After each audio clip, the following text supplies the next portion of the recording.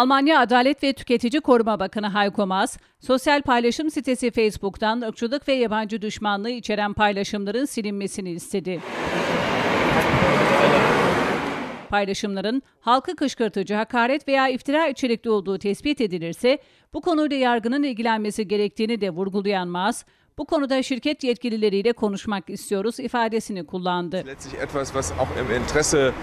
Von Facebook selber ist, denn Alman basınında yer alan haberlere göre Maas, Facebook'un Dublin'deki Avrupa merkezine ve Almanya temsilciliğine bir mektup yazarak 14 Eylül'de bir görüşme yapmayı talep etti. äh, um die Welt mit ideologischem Müll zu überhäufen. Maas mektubunda özellikle sosyal paylaşım sitesi kullanıcılarının ırkçı ve yabancı düşmanlığı içeren paylaşımlara ilişkin somut ikazlarda bulunmasına rağmen şirketin bunları etkin bir şekilde engellemediğinden şikayetçi olduğunu kaydetti. Selbst wenn es Beleidigungen sind oder üble Nachrede. Bu girişimi ifade özgürlüğü gibi yüksek bir değere karşı yapmadığını vurgulayan Mas, ancak internet, ırkçı kışkırtmaların kontrolsüz bir şekilde yayılabildiği kanunsuz bir alan değildir değerlendirmesinde bulundu. Und wenn wir Facebook dabei in irgendeiner Weise unterstützen können, werden wir es gerne tun.